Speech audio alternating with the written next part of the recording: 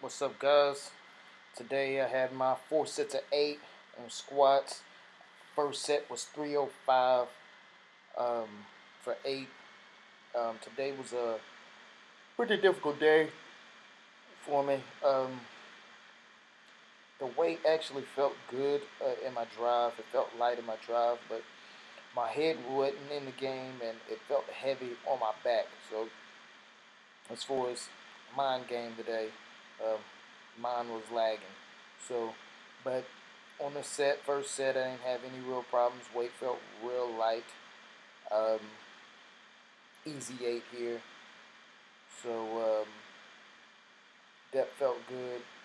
Movement felt good. No adjustments while I'm while I'm actually lifting. Um, and I don't recommend any adjustments while you're lifting. Uh, I do sometimes because I, I know my body, I can feel it out. But um, here's my second set, 345 times 8. Um, I'm pretty disappointed in this one and the next set because I rushed it. Uh, like I said, the weight felt light, but it felt heavy on my on my um, heavy on my back, so I was rushing it. So um, I'm not I'm not too happy about that. Form looked good, depth looked good. Um, notice I'm I'm representing the uh, Super Training singlet. Shouts out to Mark Bell there. Um, like I said, set as far as drive and push through the ground felt strong, just a little heavy on my back. So I kind of rushed it. Alright, set three here. Um, I did tell y'all uh, on a previous video that I am going to jump into my knee wraps and belt. My I actually have a belt on underneath my shirt. So um, usually I wait until I get around 500 to put knee wraps on.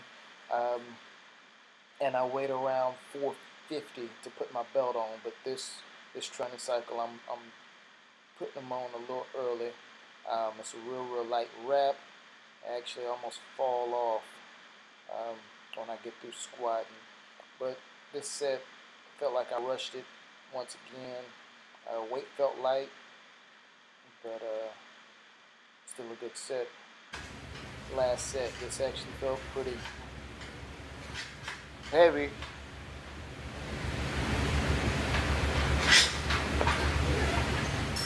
Um, just been um,